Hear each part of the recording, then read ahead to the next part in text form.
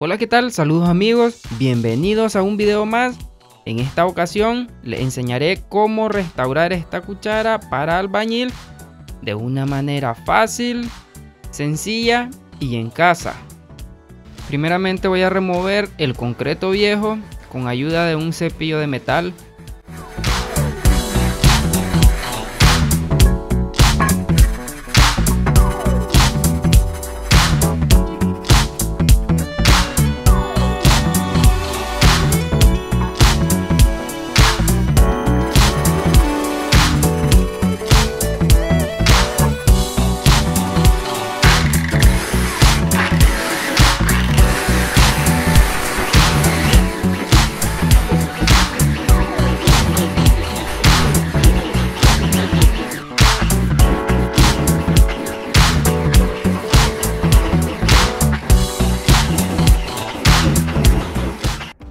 Como ven, con la pulidora sí he logrado remover el concreto que estaba bien adherido a la cuchara.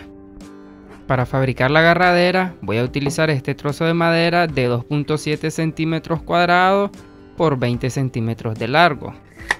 Lo primero que voy a hacer es marcar el centro con ayuda de una escuadra. Marcaré una X para definir el centro y posteriormente perforar. Lo siguiente que voy a hacer va a ser de redondear el trozo de madera con ayuda de esta herramienta. Igual pueden utilizar un cepillo, un formón con lija o con lo que ustedes quieran utilizar. Esto es al gusto de cada uno de ustedes. Aquí yo ya he redondeado. Lo siguiente será perforar con ayuda de un taladro. En este caso estoy utilizando una broca de 3 octavos voy a aplicar pegamento y con la ayuda de un martillo voy a instalar la cuchara. Les recuerdo que el agujero no debe de quedar tan pequeño del diámetro de la cuchara. A continuación voy a remover el exceso voy a recortar. En este caso lo dejaré de 15 centímetros.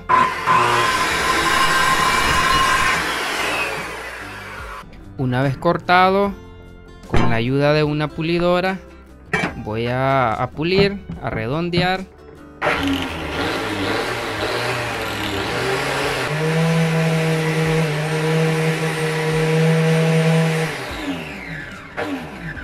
Y bien amigos, este ha sido el resultado.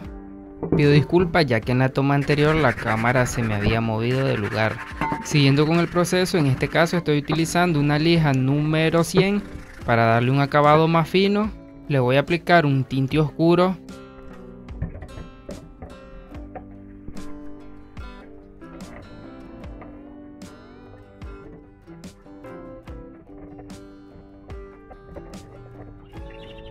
Una vez aplicado el tinte, lo voy a dejar reposar por unos minutos.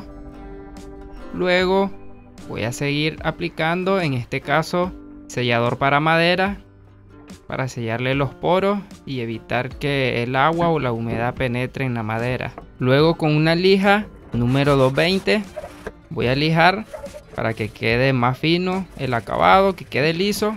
También voy a aprovechar para lijar la parte metálica para eliminar imperfecciones. Como último paso voy a aplicar barniz marino con ayuda de un trozo de tela. De preferencia le voy a aplicar dos capas y luego lo dejaré en reposo para su posterior secado. Ok amigos, este es el resultado. Espero les sea de mucha ayuda la información y que le den me gusta al video.